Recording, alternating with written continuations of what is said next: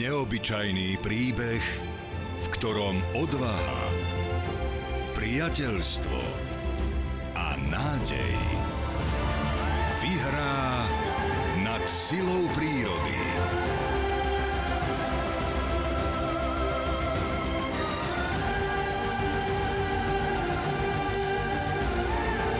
Zažite neuveriteľnú a jeho život 19. júla na Jojke.